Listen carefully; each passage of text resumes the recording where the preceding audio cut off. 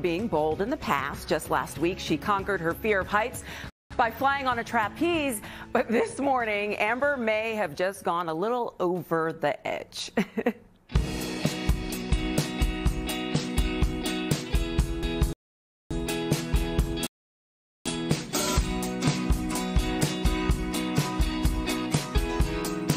Everybody, and uh, welcome to the Falcon Experience. This is in La Jolla, and this might be the coolest experience you can enjoy with your friends and your family. David, this is so neat. Let's talk. If someone's interested in the Falcon Experience, what are you going to be doing while they're here? They're going to be spending about two hours with us in one of our uh, our Falcons, and much of that time the Falcon's going to be flying free, as this one just was. And uh, they're going to have the opportunity to have the Falcon fly to their glove, as uh, as he did for you, and uh, watch him do all of his natural behaviors, um, including chasing away some other birds, perhaps in his territory, and and collecting some food. Uh, Hi. Hopefully, lots of that in the form of little bits that we can offer. You obviously are extremely passionate about falcons. What got you into this?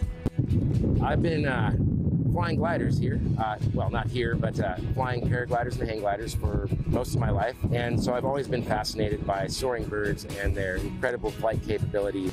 And how many people can you have when you're when you're doing this? Is this kind of a two-person thing? Do you do big groups?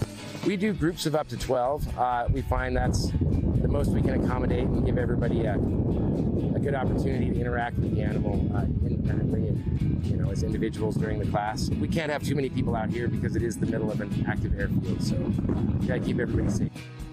Our Falcon Flight experience is $77. Uh, a bit more if you want a, a private group type of thing, uh, but not much. And most of our experiences are booked online uh, by our guests, either on our website, uh, totalraptorexperience.com, or on uh, Airbnb as one of their, uh, their experiences. You know, it's funny when I first checked into it, I was thinking raptor at I thought, oh my God, we're gonna be up close and personal with these raptors, but they're beautiful animals and, and actually very peaceful almost. Yeah, so falcons are, are particularly uh, nice in that way. Uh, falcons are not power hunters. They don't have really big, powerful feet that can, you know, rip a hole in. Yeah, I this, hope not. This bird's only way of, uh, of is by running into it going really fast, and that's obviously not going to do much damage to us. So they really represent absolutely no threat to your health and safety whatsoever.